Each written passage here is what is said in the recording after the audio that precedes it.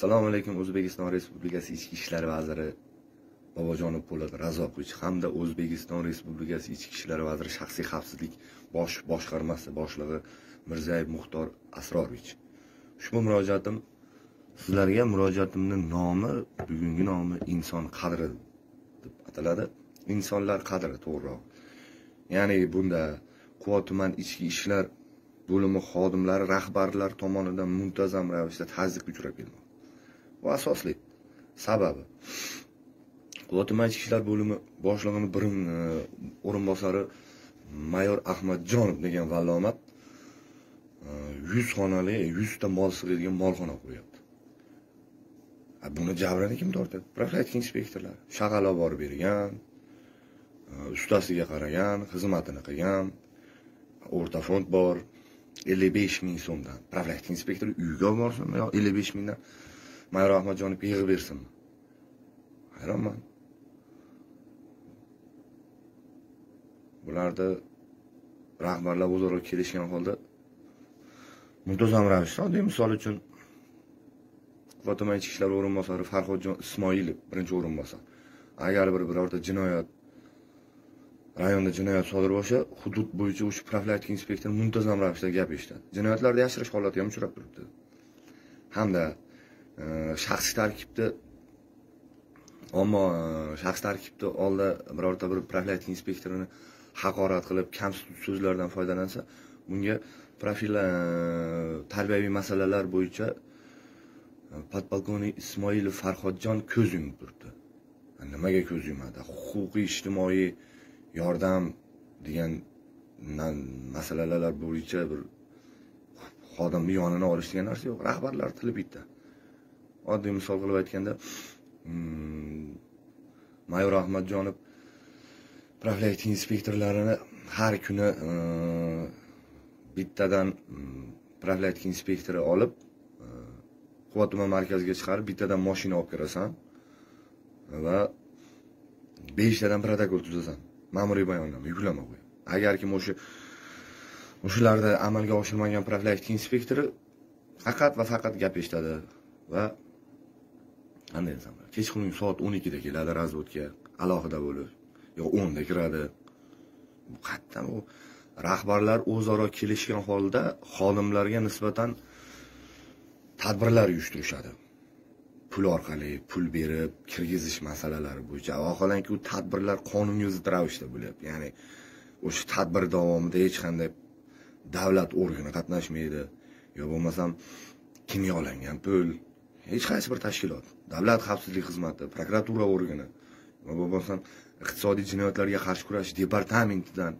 Unaqa yo'q. Bular o'zaro tadbir qiladi tadbirdan so'ng ertasiga nima keladi? O'z xavfsizlik xizmati keladi. Bir kun o'tib holat tasdiqlandi. Profilaktika inspektorlari ezilib ketyapti ezilib. Dardini kimga aytishni bilmaydi. Mayor ahmadjonov oshxona karantin tadbirida oshxonani o'n ikki yarim million jarima qilmoqchi bo'lganda mm, fuqaroni uyatli so'z bilan so'kdi. Hech narsa bo'lmadi. Hech narsa. Ikkinchi masalachi mm, quva tuman hokimi o'rinbosari agronom matmusayev ahrorjonni urib tan jarohati yetkazdi. U bo'yicha xabarnoma ham chiqdi lekin yo'q dim dim xabarnoma yo'qolib ketdi. Kimga dardini aytadi profilaktika inspektorlar?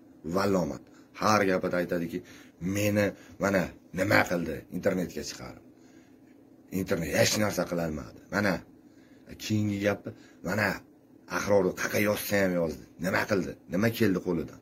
Shu shunga o'xshash. Shaxs tarkibda ruhi sinib ketdi. Kimga murojaat qiladi? Kimga murojaat qiladi?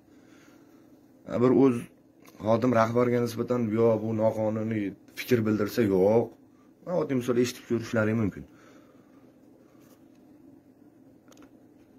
Nima bo'ldi qanaqa bo'ldi nima bo'ldi man nima bo'ldi endi mani harakatimda bo'ldi fuqaro nima harakati bo'ldi sizlar nima bo'ldi sizlar kungacha qanaqa bo'lib turgan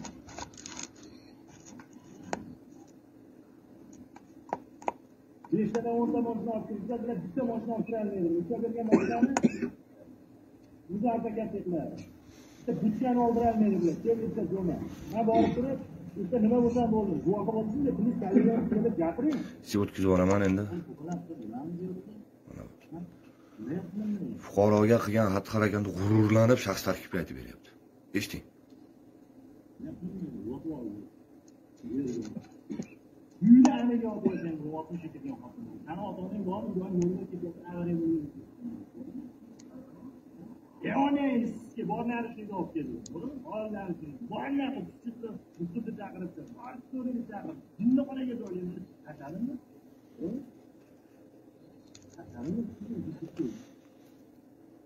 o'zlaring eshitgandek mana. Mayor ahmadjonovning gaplari.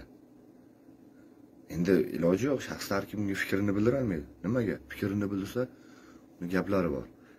Buning uchun bu bizni borligimizni xalq sezsin xalq sezsin. Qanday? Muhtaram prezidentimiz aytganlaridek